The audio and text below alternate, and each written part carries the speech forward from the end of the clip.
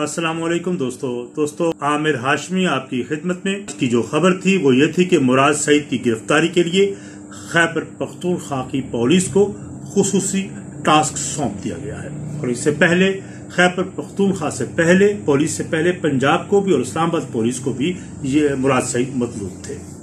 और उनकी गिरफ्तारी के लिए खैबर पख्तूनख्वा पुलिस ने मुख्तलिफ़ इलाकों पर रेड्स करना शुरू कर दी।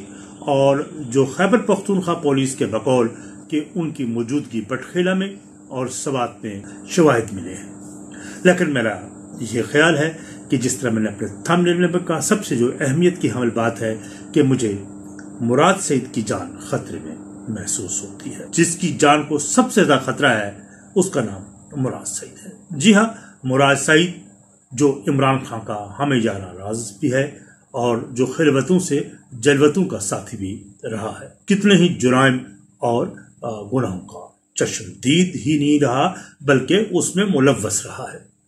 आप में से बहुत सू को याद होगा कि अरशद शरीफ के कत्ल की खोज में मुतन खसूसी मुश्तर तहकीकती टीम जो जिसमें पीटीआई के रहनमा और वकील को बयान और जरा के लिए बुलाया गया था, और वहाँ मुराद सईद ने आने से इनकार कर दिया था। शामिल तफ्तीश होने से इनकार किया था। मुराद सईद ने चूँकि दावा कर रखा था कि उसके पास शरीफ के कत्ल के सात माह, आखिरी सात माह के तमाम शवाहद मौजूद हैं कि किस तरह उसके खिलाफ एफ़ आई आर की गई और उन्हें कीनिया जाने पर किसने मजबूर किया। तो सुप्रीम कोर्ट के हुक्म पर वफाकी हुकूमत ने पाँच रुकनी स्पेशल ज्वाइंट इन्वेस्टिगेशन टीम तश्कील दी थी और जिसमें इस्लामाबाद के डीआईजी हेडक्वार्टर अवैस अहमद की सरबराही में बनने वाली टीम में आईएसआई और एमआई मिलिट्री इंटेलिजेंस और एफआईए और इंटेलिजेंस ब्यूरो के अफसरान को शामिल किया गया था। और इससे कबल वफाकी हुकूमत की जनब से एफ़ आई ए और इंटेलिजेंस ब्यूरो के अफसरान पर मुश्तमिल एक फैक्ट फाइंडिंग टीम भी तश्कील दी गई थी। और उसने मुराद सईद को पूछगिछ के लिए तलब किया था। लेकिन मुराद सईद ने पेश होने से इनकार कर दिया था और जो वहाँ के डायरेक्टर थे, उस वक्त एफआईए के अतर वहीद और इंटेलिजेंस ब्यूरो के डिप्टी डायरेक्टर जनरल थे शाहिद हामद को उसने खत लिखा था कि मुराद सईद ने, क्योंकि वो दोनों अफसरान वज़ीर दाखिला राना सलाम के जवाबदेह है, इसलिए वो आज़ाद और शफाफ इंक्वायरी नहीं कर सकते, इसलिए वो इनके पास शामिल तफ्तीश नहीं होंगे और उनकी इंक्वायरी पर उन्हें यकीन नहीं है। बहरहाल ये सबको मालूम है, हो चुका है कि अरशद शरीफ किसके पास मुल्क छोड़ने से पहले मुकीम रहा। इस तरह वो उसकी वज़ीर हाउस खैबर पख्तूनख्वा में छुपा रहा। फिर खैबर, वज़ीर अला खैबर पख्तूनख्वा की गाड़ी में वो एयरपोर्ट पे पहुँचाया गया और फिर अरशद शरीफ का वो लैपटॉप, जिस पर वो तमाम खतरनाक राज मौजूद महफूज थे, किस तरीके से मुराद सईद ने उसे हथियार लिया।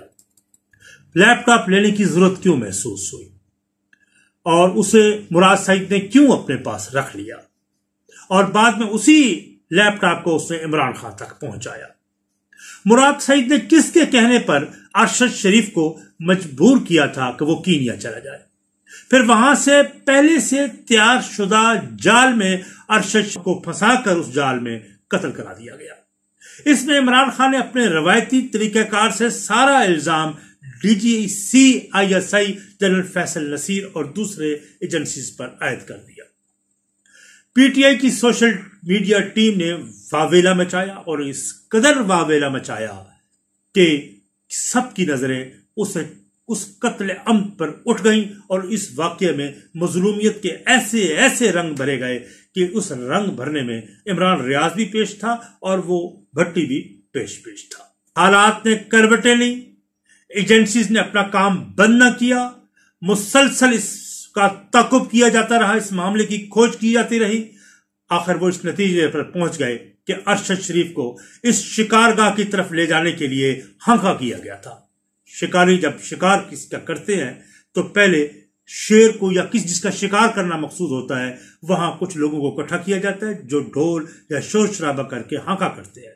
और शेर या वो शिकार जिसका जिन्होंने करना मकसूद होता है वो सब्जेक्ट वहाँ तक पहुँच जाता है। तो उसका वहाँ पहले से बंधा हुआ मचान पर बैठे हुए शिकारी उसका शिकार कर लेते हैं। बिल्कुल इसी तरह अरशद शरीफ को भी कत्ल किया गया। बड़ी आसानी से कत्ल किया गया, जिसका एहतमाम बखूबी और बड़े एहसन अंदाज से किया गया।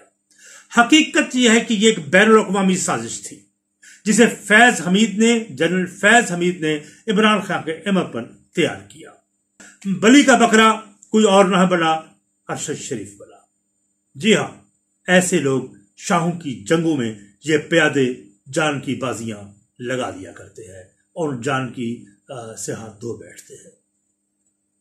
और जान देने में तो ना उनकी मर्ज़ी शामिल होती है, न उनकी मंशा शामिल होती है। सिर्फ़ इल्म उसको होता है कि जिसके मफादात के लिए वो उसको, उस बलि चढ़ाई जा रही होती है। और हाके के लिए मुराद सईद और इन जैसों को इस्तेमाल किया गया। अरशद शरीफ के कत्ल के से बैक वक्त दो फवायद हासिल करने मकसूद थे। एक आई एस आई को अपने दबाव में लाना इमरान खान का मनसूबा था और दूसरा, दुनिया भर में पाकिस्तान फौज के बारे में मनफी तर्ज अमल दिखाना मकसूद था, जिस पर सारी दुनिया की नज़रें पाकिस्तानी फौज पर लगी हुई थी और उस वक्त खसूस जब पाकिस्तान पर एफ़ ए टी एफ़ की तलवार भी लटक रही थी। मुराद सईद वो तोता है जिसमें इमरान खान जैसे दियो की जान है। जी हाँ उसकी जान है। और मुराद सईद को जब गिरफ़्तार करने का प्रोग्राम बना तो इसका इल्म इमरान खान को बखूबी हो चुका था। मुराद सईद को जमा पार्क पहुँचाया गया, जहाँ वो उसके तय खाने में मौजूद रहा, जहाँ वो इमरान खान की खिलवतों का साथी भी रहा कुछ अर्सा तक। लेकिन इमरान खान को जब यह महसूस हुआ कि मुराद सईद की मौजूदगी इल्म एजेंसीज को हो चुका है तो उसने यही समझा कि ये जगह अब महफूज, मुराद सईद के लिए नहीं है। तो उसने बाकायदा उसको बुरका पहनाया और बुरका पहनाकर उसको वहाँ से जमा पार्क से निकलवाया और वो पहले बटखेला गया और बटखेला में के बाद उसको टीटीपी तहरीक तालिबान पाकिस्तान के एक ग्रुप है, उसके हवाले किया गया, जिनके जाती ताल्लुकात इमरान खान के साथ मौजूद हैं। इसकी शवायद एजेंसीज के पास भी हैं।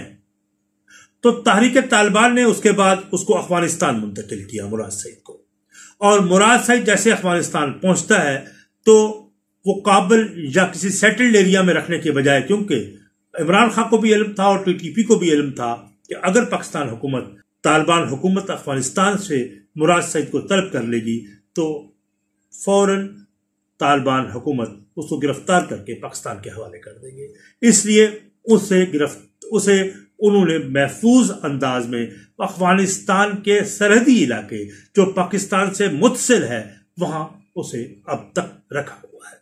कब तक रखा जाता है?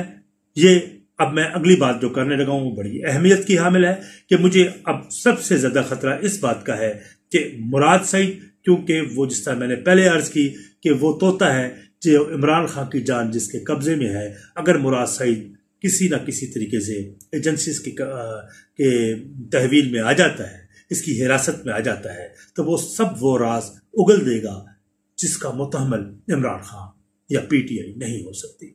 इसलिए मुझे ये मुमकिन है कि अल्लाह उसकी जान की हिफाजत करे, उसकी ज़िंदगी की हिफाजत करे वो ज़िंदा और ताबिंदा रहे। अगर उसने कोई जुर्म सजद किया है तो वो कानून के मुताबिक सजा मिलनी चाहिए। लेकिन एक बात मुझे खतरा महसूस हो रहा है कि मुराद सईद की जान को खतरा है। क्योंकि अब वो ये कत्ल या उसका खून अपनों के हाथों से ही होगा। और इसका इल्ज़ाम भी किसी और पर धर दिया जाएगा। जिस तरह पहले दौर में, पहले लोगों के साथ होता रहा है। तो इस बार मुराद सईद अब हदूद को पहुँच चुका है, वहाँ एक लाश और दरकार है, पी इमरान खान साहब को।